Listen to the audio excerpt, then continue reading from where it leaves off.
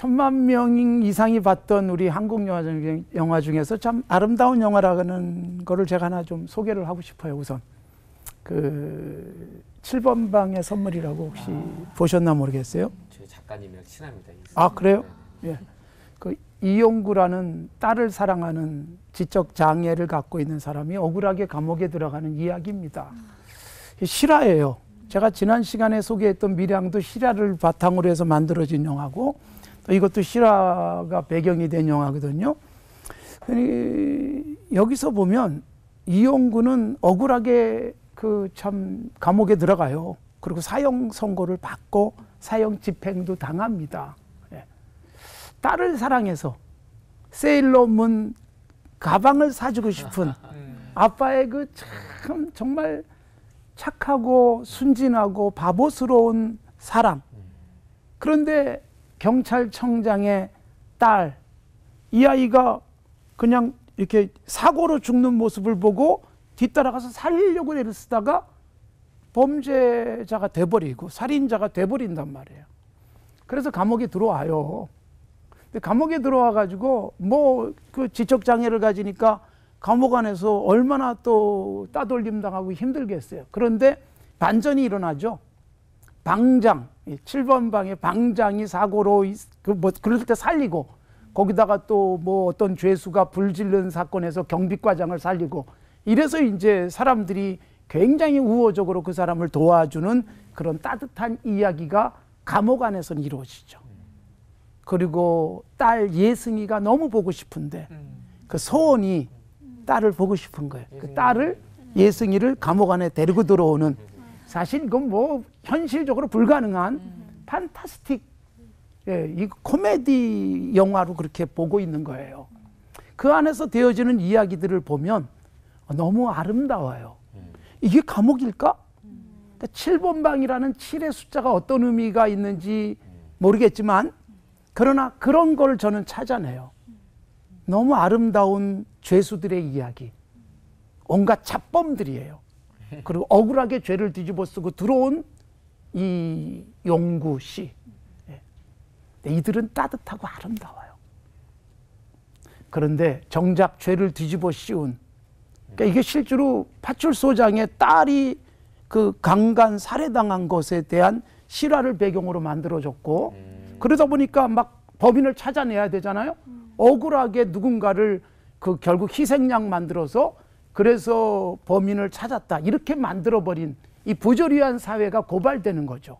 근데 여기는 경찰청장으로 나오니까 훨씬 센 사람이에요. 결국 감옥 안에서 이 착한 이용구 씨는 여러 사람의 도움을 받고 그래서 재심 청원이 받아들여지고 그래서 사형을 면하는 사실 무죄가 될 만한 그런 상황이 됐는데 경찰청장이 회유를 하죠. 협박을 하죠. 그래서 결국 법정에서 자기 죄라는 걸 시인하고 죽습니다. 저는 이 모습을 보면서 무슨 생각을 했는가 하면 감옥 안에 갇혀 있는 죄수라는 사람들은 착하디 착하고 따뜻하고 감옥 밖에 있는 힘인도 있고 정직하지 않고 누군가를 희생양 삼아서라도 자기가 원하는 걸 이루고자 하는 이 바깥 세상의 모습이 굉장히 대조적으로 보이는 거예요. 네. 우리가 감옥에 갇혔다고 해서 다 죄인인가? 감옥 밖에 있다고 해서 다 뭐 의로운 사람인가? 사실 에, 이 구분이 우리들에게 모호해질 수 있고 이게 명확하지 않을 수 있습니다. 네. 그래서 어, 저는 이런 영화를 보면서 무슨 생각을 하는가 하면 예, 힘 있고 또뭐 어, 모든 것이 잘 나가는 사람이라고 해서 우리가 너무 부러워하지 말자. 때로는 손가락질 받고 그러는 사람 속에도 정말 따뜻하고 아름다운 사람들이 있기 마련이다. 너무 선입관 갖지 말자. 그런 생각을 합니다. 결국 이 예승이는 잘 자라서 아빠의 무죄를 밝혀내는 변호사가 되지요.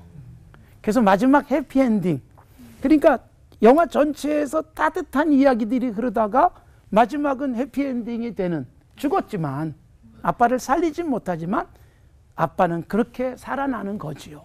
네. 이런 메시지가 들어있는 영화를 보면서 다른 천만 영화들과 비교가 되는 거예요. 아주 많은 영화가 영화를 보긴 봤는데 많은 사람은 봤는데 그러나 정말 우리 인생에 도움도 안 되고 또 우리 사회의 흐름도 바르게 잡아가는데 도움이 안 되는 영화도 있다.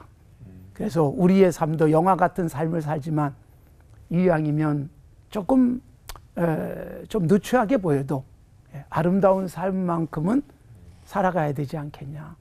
갇힌 자 같지만 진정한 자유자의 삶 이게 우리에게 정말 필요한 게 아닌가. 모든 사람이 다 간다고 해서 좋은 길은 아니다. 이런 교훈도 우리에게 주십니다. 하나님 아버지 고맙습니다.